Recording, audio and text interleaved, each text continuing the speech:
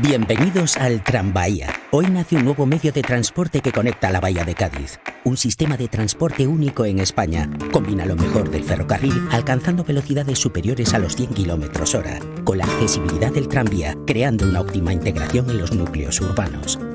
Un tren que conecta y acerca aún más a Chiclana de la frontera, San Fernando y Cádiz. Hoy nace un nuevo futuro en la bahía de Cádiz. Tranvía llega a una población de más de 230.000 habitantes a través de sus 14 kilómetros de trazado urbano y 10 ferroviarios en los que circula por la línea ferroviaria entre Sevilla y Cádiz.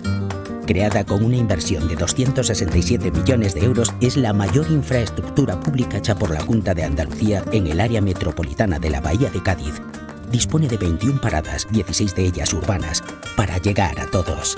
Hoy es Real Tranvía. Tranvía es una apuesta por el medio ambiente, un medio de transporte de alta capacidad de pasajeros con un consumo de energía mínimo, limpio, sencillo y eficaz. Una nueva manera ecológica de moverse.